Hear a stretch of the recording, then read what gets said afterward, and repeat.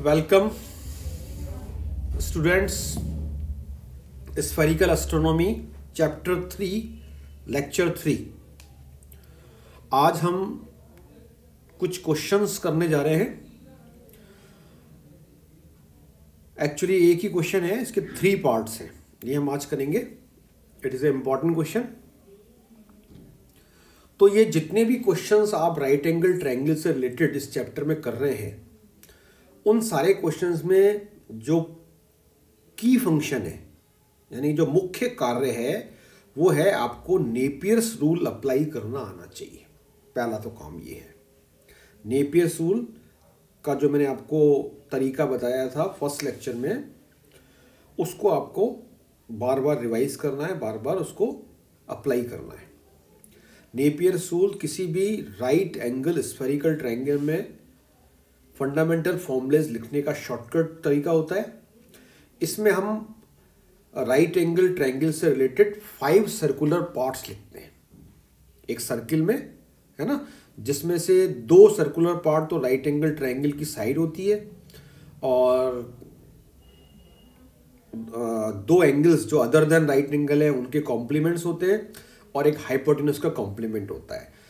याद क्या रखना है कि ये सारे के सारे सर्कुलर पार्ट्स हमको उसी ऑर्डर में लिखने हैं, जिस ऑर्डर में ये ट्रायंगल में हमको दिख रहे हैं। उसके बाद दो तरह के नेपेस टूल होते हैं। फ़र्स्ट वाला में होता है कि मिडिल पार्ट दोनों के अंदर अपन यूज़ करते हैं, है ना? फ़र्स्ट पार्ट में होता है sine of the middle part equals to tan of the adjacent parts और दूसरा वाला होता है sine of the middle part equals to cosine of the opposite parts ये सारी बातें मैं आपको पहले एक्सप्लेन कर चुका हूँ। अब देखिए, ये प्रेजेंट जो क्वेश्चन हम ले रहे हैं, इसके अंदर ये एक राइट एंगल ट्रायंगल है ए बी सी है ना? और सी इसका राइट एंगल है। इस सी पे ये हमें 90 डिग्री का एंगल बन रहा है। क्वेश्चन ये कह रहा है कि अगर इस सी पॉइंट से, यानी कि C is the vertex where the right angle triangle where right angle is located तो अगर हम इस पॉइंट सी से हाइपोटेनियस इस ट्राइंगल का हाइपोटेनियस कौन है? ए बी है ना? अगर अपन इस सी से ए बी पर एक परपेंडिकुलर डालें परपेंडिकुलर आर्क तो आप देखिए सी डी ये आपका देखिए, वापस यहाँ बना बना के बता रहा हूँ मैं आपको। ये तो आप देखिए इधर, ये है ए बी ओके? ये वाली ए बी में वापस यहाँ बना के बता रहा हूँ आपको, और ये आपका पॉइंट है सी तो सी से हमने यहाँ क्या कर रहे हैं हम? सी से एक परपेंडिकुलर ड्रॉप कर रहे हैं on the arc A B इस परपेंडिकुलर का ये पॉइंट हमने डी मार्क किया फुट को, और ये लेंथ हमको अल्फ़ा के बिने सी डी लेंथ तो अब आपको प्रूव करना है ये फ़र्स्ट रिज़ल्ट क्या कहता है फ़र्स्ट रिज़ल्ट कि इस परपेंडिकुलर आर्क जो हमने अभी अभी ड्रॉप किया, के कॉट का square square of the cot of this arc perpendicular arc is equal to cot square of the sides कौन सी साइड्स जिनके बिटवीन राइट एंगल बन रहा है। यहाँ राइट एंगल किन के बीच में बन रहा है? Right angle is happening with मतलब forming between A C and B C तो सी और बी सी जो है ए सी की लेंथ देखिए बी है और बी सी की लेंथ ए है। तो इसके कॉट का स्क्वायर बराबर cot square A plus cot square B ये मुझे प्रूव करना है। तो ये काम हम करेंगे, देखिए नेपियस रूल की हेल्प से करेंगे।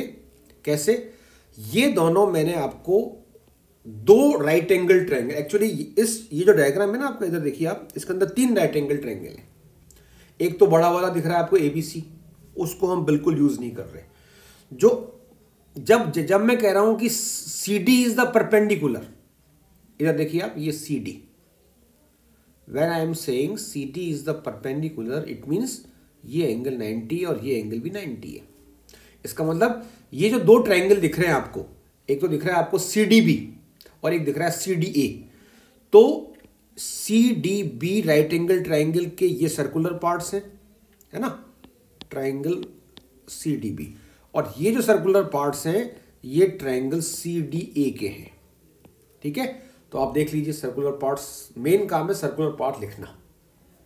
तो मैं आपको इसके अंदर एक्सप्लेन करता हूँ सी डी बी के अंदर। तो देखिए, सबसे पहले हम क्या यहाँ पर देखेंगे सर्कुलर पार्ट्स के लिए कि राइट एंगल किन साइड्स के बिटवीन बन रहा है। तो इस ट्राइंगल में राइट एंगल बन रहा है मेरा बी डी और अल्फ़ा के बिटवीन साइड बी डी दिख रहा है आपको ये साइड बी डी और ये अल्फ़ा साइड? तो ये मैंने देखिए बी डी और अल्फ़ा लिख दिया।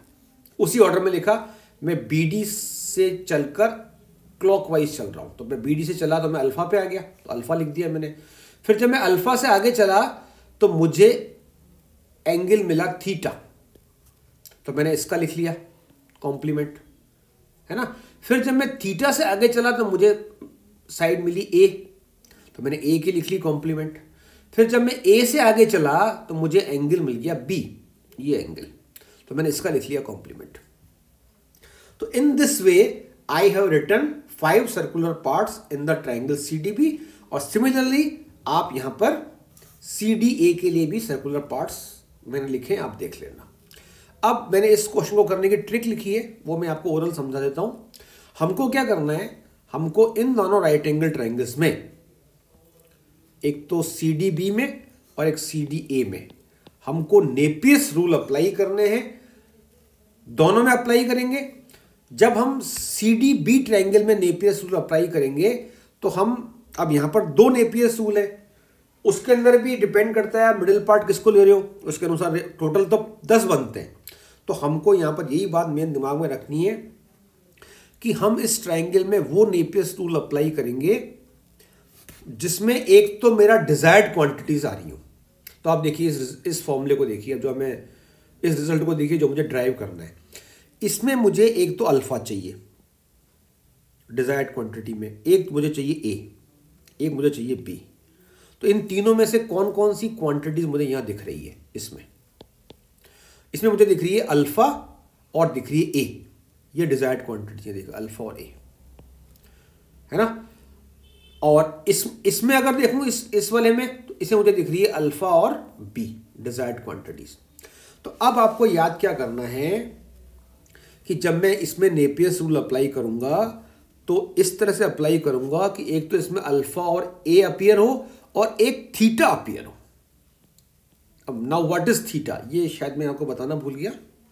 इधर देखिए आप, थीटा यहाँ वैसे पिक्चर में दिख रहा है क्लियर थीटा हमने इस एंगल को एज्यूम कर लिया है। कौन सा एंगल है ये? एंगल बी सी डी तो अगर ये थीटा है तो ये वाला जो एंगल है, बचा हुआ, ये हो जाएगा pi by two minus theta क्योंकि ये कंप्लीट एंगल मेरा पाई बाई टू है। ठीक है?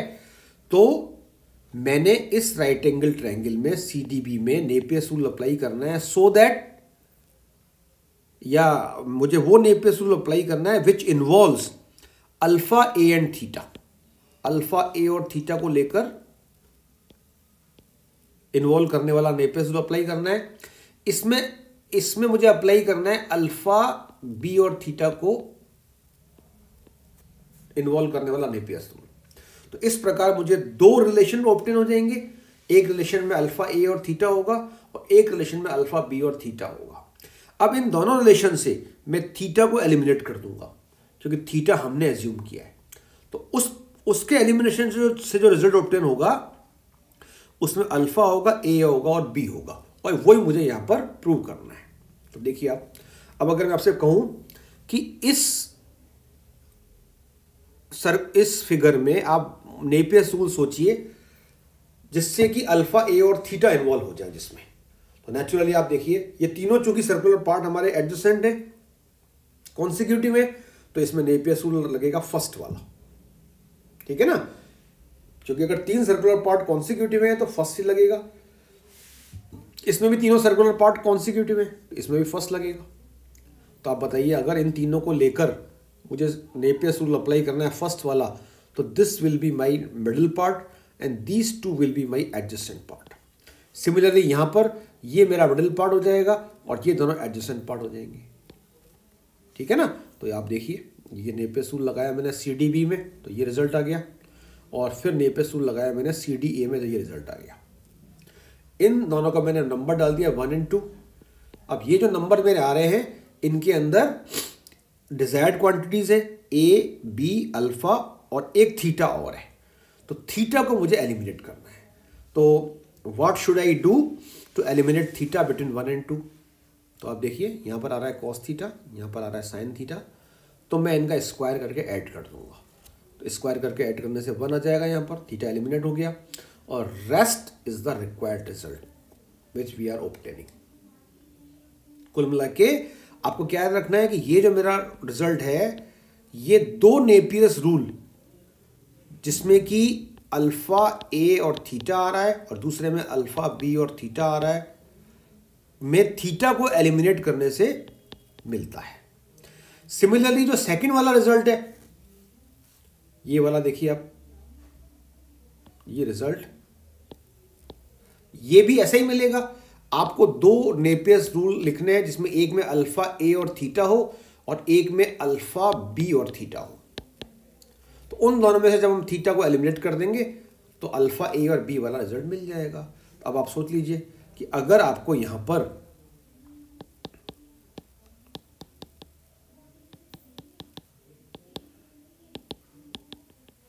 इस ट्रायंगल में मतलब ट्रायंगल तो नहीं है सर्कुलर पार्ट्स हैं।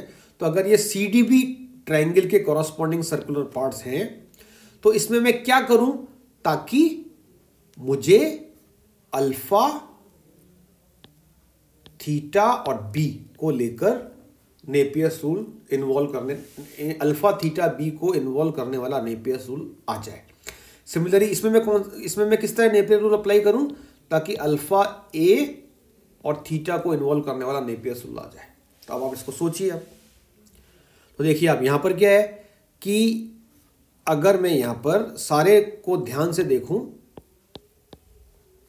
तो देखिए आप कौन कौन से मुझे यहाँ पर कौन कौन से मुझे यहाँ पर डाटा इन्वॉल्व करने हैं? अल्फ़ा थीटा और बी तो देखिए आप ये रहे। अल्फ़ा, थीटा और बी क्या ये तीनों कॉन्सिक्यूटिव है? नहीं। तो ये अब इसमें इससे इससे क्या पता पड़ा कि नेपियस रूल सेकंड अप्लाई होगा? अब सेकंड में भी बिल्कुल थोड़ा ध्यान से आप सोचोगे तो पता पड़ जाएगा, ये मेरा बनेगा मिडिल पार्ट और ये बने मेरे बनेंगे अपोजिट पार्ट ठीक है? तो sine of the middle part is equal to cos of the opposite part product of the cos of the opposite part similarly इस वाले में देखिए आप। इसमें अल्फ़ा ए और थीटा है तो ये देखिए ए, अल्फ़ा और थीटा। इसमें ये मेरा मिडिल पार्ट बन जाएगा, ये मेरे अपोजिट पार्ट बन जाएँगे। तो ये अगर आप बात समझ जाते हैं then it is very easy to do the question और लिखना आपको ऐसे है Napier second rule and triangle C D B for the middle part pi by two minus B यानी आपको रूल मेंशन करना है फ़र्स्ट और सेकंड कौन सा लगा रहे हो आप? ठीक है ना? तो sine of the middle part is equals to product of the cos of the opposite part ये आ गया सिमिलरली इसमें आ गया। अब वही वाला काम, इन दोनों से मुझे थीटा को एलिमिनेट करना है। तो देखिए आप, वही काम करेंगे square of the three square plus four square ऐसा करने से आपको रिज़ल्ट मिल जाएगा। तो ये आप कर लीजिएगा। फिर आप देखिए लास्ट रिज़ल्ट जो हमारा है, जो मुझे प्रूव करना है, ये वाला। इसके अंदर आपको बिल्कुल स्ट्रिक्ट तीनों क्वेश्चनों की सेम है। आपको दोनों ट्राइंगल्स में वो नेपियस रूल अप्लाई करने हैं, जिसमें अल्फ़ा आए, है ना? थीटा आए और ए डी आए, क्योंकि इसमें ए डी आ रहा है।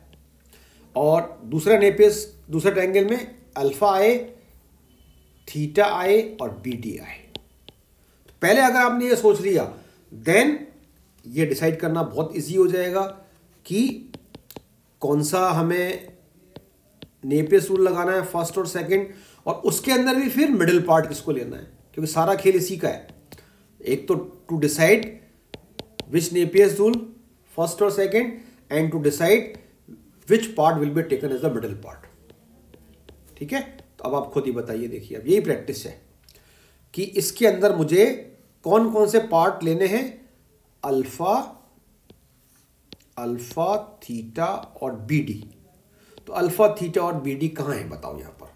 ये रे देखिए, अल्फ़ा, थीटा और बी डी क्या ये तीनों कॉन्सिक्यूटिव है? यस तो अगर कॉन्सिक्यूटिव है तो इस पर आप नेपियस रूल कौन सा लगाएँगे? फ़र्स्ट कॉन्सिक्यूटिव में फ़र्स्ट लगता है और नॉन कॉन्सिक्यूटिव में सेकंड लगता है। अब इसमें मिडिल पार्ट कौन है? बिल्कुल, कोई चॉइस ही नहीं हमारे पास मिडिल पार्ट यही है इसमें। तो sine of the middle part is equals to tan of the adjacent part ऐसे इसमें कर लेना आप। तो देखिए आप ये दोनों हमने अप्लाई कर दी यहाँ पर। बाकायदा आपको लिखने का तरीका आना चाहिए कि विच नेपेसुल हम लगा रहे हैं, किस ट्राइंगल में लगा रहे हैं और मिडल पार्ट किसको लेके लगा रहे हैं। तो ये देखिए फाइव एंड सिक्स अब आपको क्या एलिमिनेट करना है? थीटा तो एलिमिनेट करने के लिए आपको देखिए, यहाँ पर इनका स्क्वायर करके ऐड नहीं करना पड़ेगा, क्योंकि वो सिचुएशन पे डिपेंड करता है। यहाँ पर कॉट थीटा और टेन थीटा आ रहा है तो इन दोनों इक्वेशंस को मैंने मल्टीप्लाई कर दिया। फाइव इंटू सिक्स कर दिया तो sine alpha into sine alpha sine square alpha और यहाँ tan B D into tan A D आ गया। तो दिस रिज़ल्ट इज़ प्रूव्ड तो आई होप कि आपको ये समझ में आ गया होगा। Thank you very much